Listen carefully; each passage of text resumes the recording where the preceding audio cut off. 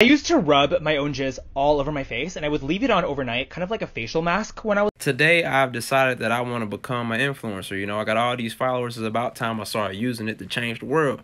And so, my first order of business is um, I need everybody watching this video to go and acquire one of these, right? Now, it doesn't have to be exactly like this, but something similar. Now, basically, what you want to do is you want to go purchase a uh, an assortment of papers like this here. And what you can do is you get you a pencil, a pen, anything that you know you want to write with. And and basically, what you're gonna do is you're gonna take thoughts like the one that you just had, and you're gonna write them down in the confines of this little apparatus, if you will. Okay, and then you're gonna take that, you're gonna close it, and then don't let nobody and I mean nobody, read it.